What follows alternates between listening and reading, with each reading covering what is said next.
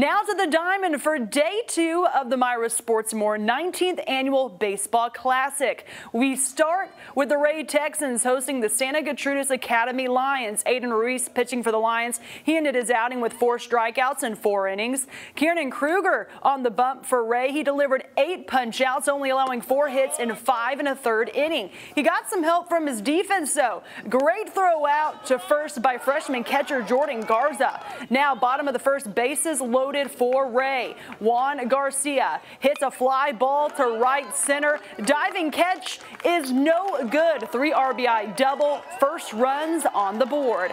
Now check out the Lions defense. Derek Garcia snags the catch, tags the out at third for an unassisted double play. That's rare, folks. But the Texans shut out the Lions 4 0, staying undefeated in the tournament.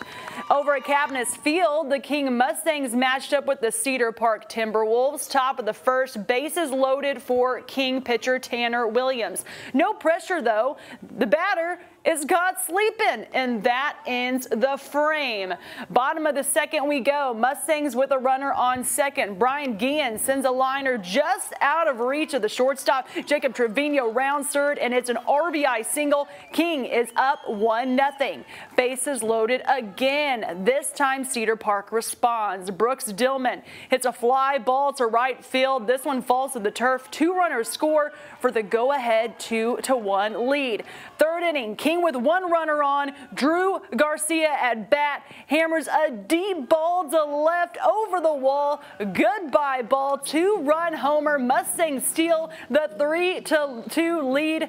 This back and forth chess match ends in favor of Cedar Park. The Timberwolves win 4 to 3.